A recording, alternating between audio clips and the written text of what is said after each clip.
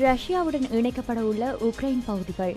வெளியாகியுள்ள முக்கிய அறிவிப்பு விபத்தில் சிக்கிய இருபத்தி ஒரு வயது இளைஞன் உயிரிழப்பு. ஜாலில் சம்பவம். இன்று முதல் தடவையாக கூடும் தேசிய சபை. இறக்குமதியாளர் சங்கம் வெளியிட்ட முக்கிய அறிவித்தல். வாகனம் வாங்க காத்திருப்போருக்கான மகிழ்ச்சியான தகவல். லண்டன் விமான நிலையத்தில் இரண்டு விமானங்கள் மோதல். மேலதிக வகுப்பிற்கு சென்று மூன்று மாணவர்கள் துஷ்பிரயோகம் ஆங்கிலேய ஆசிரியர் கைது. கொழும்பில் இளம்பெண் உயிரிழப்பு வைத்தியருக்கு எதிராக தடை. எண்ணெய் கொள்வனவு பாரிய ஊழல் மோசடி ஐக்கிய மக்கள் சக்தி குற்றச்சாட்டு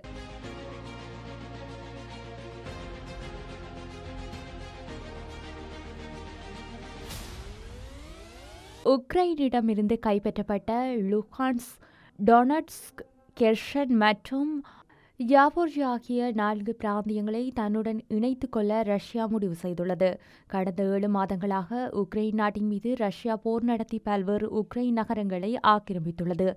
மேலும் பல நகரங்களை கைப்பற்ற ரஷ்யா படைகள் தொடர்ந்தும் சண்டையிட்டு வருகின்றன. இந்த நிலையில் உக்ரைனின் ரஷ்ய படைகள் வசமுள்ள லுஹான்ஸ் டொனார்ட்ஸ் கெஷன் மற்றும் ஜாபோர்ஷியா ஆகிய நான்கு பிராந்தியங்களும் தன்னுடன் இணைத்துக் கொள்ள ரஷ்யா முடிவு செய்துள்ளது. இது தொடர்பாக அந்த நான்கு பிராந்தியங்களையும் சேர்ந்த மக்களின் விருப்பத்தை தெரிந்து கொள்ள ரஷ்யா அங்கு பொது வாக்கெடுப்பு ஒன்றை நடத்தியது.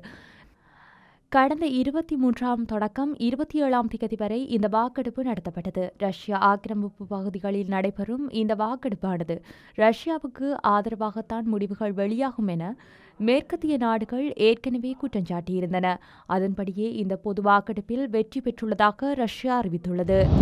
யாழ்ப்பாணத்தில் உந்துருளி விபத்தில் படுகாயமடைந்த நிலையில் ஜால் போதனா வைத்தியசாலையில் ஏழு நாட்களாக சிகிச்சை பெற்று வந்த இளைஞன் சிகிச்சை பலனின்றி உயிரிழந்துள்ளார் யாழ்ப்பாணம் மத்தியூஸ் வீதியில் சேர்ந்த ஆண்டன் தினியன் வயது இருபத்தி மூன்று எனும் இளைஞனே உயிரிழந்துள்ளார். கோப்பாய் சந்திக்கு அருகில் கடந்த இருபத்தி ஓராம் தேதி இடம்பெற்ற உந்துருளி விபத்தில் விதியோர கால்வாய்க்குள் தூக்கி வீசப்பட்டு படுகாயமடைந்த நிலையில் யாழ்ப்பாண போதன வைத்தியசாலையில் அனுமதிக்கப்பட்டார். வைத்தியசாலையில் ஏழு நாட்களாக சிகிச்சை பெற்று வந்த நிலையில் நேற்றைய தினம் புதன்கிழமை சிகிச்சை பலனின்றி உயிரிழந்தார். சபாநாயகர் மஹிந்த ஜாபே அபிவர்த்தன தலைமையில் நாடாளுமன்ற கட்டடத் தொகுதியில் இன்று காலை பத்து முப்பது மணிக்கு இந்த கூட்டத்தொடர் ஆரம்பமாகியது. தேசிய சபைக்கென தெரிவு செய்யப்பட்ட நாடாளுமன்ற உறுப்பினர்களின் பெயர் பட்டியலை சபாநாயகர் ஏற்கனவே நாடாளுமன்றத்தில் அறிவித்தார். இதனிடையே நாடாளுமன்ற நடவடிக்கைகள் தொடர்பிலான தெரிவுக்குழு கூட்டமும் சபாநாயகர் மஹிந்த ஜாபே அபிவர்த்தன தலைமையில் இன்று நடைபெறுகின்றது. இந்த கூட்டம் இன்று காலை ஒன்பது முப்பது மணிக்கு ஆரம்பமாகி எதிர்வரும் வாரம் நாடாளுமன்றத்தில் முன்னெடுக்கப்பட உள்ள நடவடிக்கைகள் தொடர்பான தீர்மானங்களை மேற்கொள்வதற்காக இந்த கூட்டம் கூட உள்ளதாக நாடாளுமன்றம் தெரிவித்துள்ளது. நாட்டில் குறிப்பிட்ட சில வாகனங்களின் விலைகள் வேகமாக வீழ்ச்சியடைந்து வருவதாக இலங்கை வாகன இறக்குமதியாளர் சங்கத்தின் செயலாளர் பிரசாந்த் குலதுங்க தெரிவித்துள்ளார். கொழும்பு ஊடகம் ஒன்றுக்கு வழங்கிய சபையிலேயே அவர் இந்த விடயத்தினை குறிப்பிட்டுள்ளார்.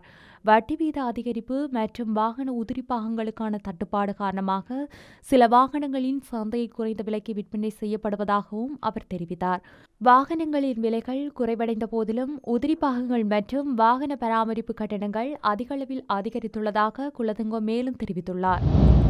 லண்டன் ஹீத்ரோ சர்வதேச விமான நிலையத்தில் இரண்டு பயணிகள் விமானங்கள் ஒன்றுடன் ஒன்று மோதி விபத்துக்குள்ளானதை காட்டும் புகைப்படங்கள் வெளியாகியுள்ளன. இரண்டு விமானத்துக்கிடையில் இந்த சம்பவம் இடம்பெற்றுள்ளது. புதன்கிழமை இரவு எட்டு ஆறு மணிக்கே ஹீத்ரோ விமான நிலையத்தில் இந்த சிறிய விபத்து நடந்ததாகவும் சம்பவம் குறித்து விசாரணைகள் நடைபெற்று வருவதாகவும் தெரிவிக்கப்படுகின்றது. இந்த விபத்தில் பயணிகள் எவரும் காயம் எதுவும் ஏற்படவில்லை. மேலும் விமானங்களின் வருகை அல்லது புறப்பாடுகளை குறிப்பிடத்தக்க தாக்கம் எதுவும் எதிர்பார்க்கப்படவில்லை. ஆனால் பயணிகள் தங்கள் விமானங்களின் நிலையை தங்கள் விமான நிறுவனங்களுடன் சரிபார்க்க அறிவுறுத்தப்பட்டுள்ளனர்.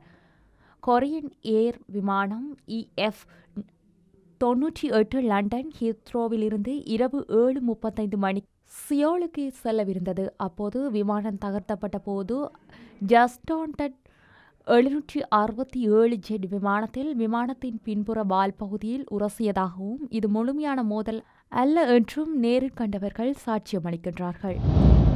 திருகோணமலையில் மேலதிக வகுப்பிற்கு சென்ற மூன்று ஆண்மகன்கள் துஷ்பிரயோகம் செய்த குற்றச்சாட்டின் பேரில் பிரபல ஆங்கில ஆசிரியர் ஒருவரை எதிர்வரும் முப்பதாம் தேதி வரை விளக்கமறியலில் வைக்குமாறு நீதிமன்றம் உத்தரவிட்டுள்ளது. திருகோணமலை நீதிமன்ற நீதிபதி பயாஸ் ரசாக் முன்னிலையில் சந்தேக நபரை நேற்றைய தினம் முன்னிலைப்படுத்திய போது இக்கட்டளை பிறப்பிக்கப்பட்டுள்ளது. குறித்த ஆசிரியர் தொடர்பில் மாணவர்கள் பெற்றோர்களுக்கு தெரியப்படுத்தியிருந்த போதிலும் பெற்றோர்கள் அதனை பெரிதுபடுத்தாமல் இருந்த நிலையில் சிறுவர் பாதுகாப்பு நிலையத்திற்கு குறித்த ஆசிரியர் தொடர்பில் தெரியப்படுத்தப்பட்டுள்ளது. இதனையடுத்து குறித்த சம்பவம் தொடர்பில் விசாரணைகள் மேற்கொள்ளுமாறு உப்புவெளி காவல் நிலையத்திற்கு அறிவுறுத்தல் வழங்கப்பட்டுள்ளது. இந்த நிலையில் விசாரணைகளை மேற்கொண்ட காவல்துறையினர் குறித்த மாணவர்களின் வாக்குமூலத்தை பெற்றதை அடுத்து பிரபல ஆங்கில ஆசிரியரை கைது செய்து திருகோணமலை நீதிமன்றத்தின் முன்னிலைப்படுத்தியுள்ளனர். வத்தலை தனியார் வைத்தியசாலை ஒன்றில் வைத்தியரின் அலட்சியத்தால் இளம்பெண் ஒருவர் உயிரிழந்தமை பெரும் சர்ச்சையை ஏற்படுத்தியுள்ளது. இந்த நிலையில் பரிசோதனையின் முடிவுகள் வரும் வரை வைத்தியரின் சத்திர சிகிச்சைக்கு தடை விதிக்கப்படும் என சுகாதார அமைச்சின் சிரேஷ்ட பேச்சாளர் ஒருவர் தெரிவித்துள்ளார்.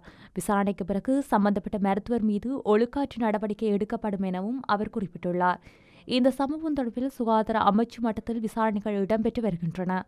சர்ச்சைக்குரிய வைத்தியரால் மேற்கொள்ளப்பட்ட முன்னிய சத்திர சிகிச்சைகள் பல நோயாளர்களுக்கு பாதிப்பு ஏற்பட்டுள்ளதாகவும் முறைப்பாடுகள் கிடைத்துள்ளதாக சுகாதார அமைச்சின் சிரேஷ்ட பேச்சாளர் குறிப்பிட்டுள்ளார். கடந்த மாதம் பதிமூன்றாம் திகதி ஜாயல தெலத்துற பகுதியைச் சேர்ந்த புத்திகா ஹர்ஷினி தர்ம விக்ரம என்ற பெண்ணை உயிரிழந்துள்ளார். திருமணமாகி பதினேழு நாட்களில் ஏற்பட்ட சிறு நோய்க்கு சிகிச்சை பெற மருத்துவமனைக்கு சென்றிருந்தார். இங்கு ஏற்பட்ட சிகிச்சை பலனின்றி அவர் உயிரிழந்துள்ளார். எண்ணெய் கொள்வனவு தொடர்பில் பாரிய ஊழல் மோசடி இடம்பெற்றுள்ளதாக ஐக்கிய மக்கள் சக்தி குற்றம் சுமத்தியுள்ளது. இது தொடர்பில் லஞ்ச ஊழல் ஆணைக்குழுவில் குற்றப்புலனாய்வு பிரிவும் முறைப்பாடுகளை தாக்கல் செய்துள்ளதாக அக்கட்சி தெரிவித்துள்ளது. இதுகுறித்து ஊடகங்களுக்கு கருத்துரைத்த நாடாளுமன்ற உறுப்பினர் கபீர் கசீம் ரஷ்யாவிலிருந்து கொள்வனவு செய்யப்பட்ட ஒரு பிப்பாய் எண்ணெய்க்கு தொன்னூறு முதல் தொன்னூற்றி ஐந்து டாலர்கள் வழங்கப்படுகின்றது. எனினும் அறுபத்தி எட்டு டாலர்களுக்கு பீப்பாய் ஒன்றை கொள்வனவு செய்ய முடியும் என தெரிவித்துள்ளார். இதேவேளை மசகு எண்ணெய் இறக்குமதிக்காக நூற்றி தொன்னூறு மில்லியன் டாலர்கள் செலவிடப்பட்டுள்ளது. இதிலிருந்து எண்பது மெட்ரிக் டன் சுத்திகரிக்கப்பட்ட எண்ணெய் மட்டும் உற்பத்தி செய்ய முடிந்துள்ளது. அத்துடன் கேள்வி பத்திர நடைமுறைகளை பின்பற்றி எண்ணெய் இறக் இறக்கப்படுவதில்லை என்று அவர் சுட்டிக்காட்டியுள்ளார். மேலும் இந்த விடயங்கள் தொடர்பில் அமைச்சர் அறிக்கை வெளியிட வேண்டும் எனவும் அவர் வலியுறுத்தியுள்ளார்.